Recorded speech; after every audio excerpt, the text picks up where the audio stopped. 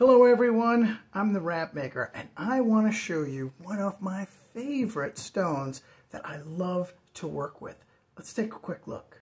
Check out these beauties. This is labradorite. It's one of my favorite stones and these are this is one of the few stones I have to buy in person because look at this. Look at that how it flashes. That's what you're looking for. This is a great mineral to to uh, use to, in all of your, your projects, but you want to make sure you find one that's got all that flash in it. And let me show you one. This is a finished one.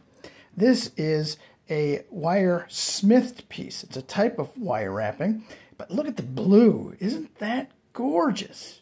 So if you want to learn more about creating your own wire wrap jewelry, check out my YouTube channel. There's a link in my bio.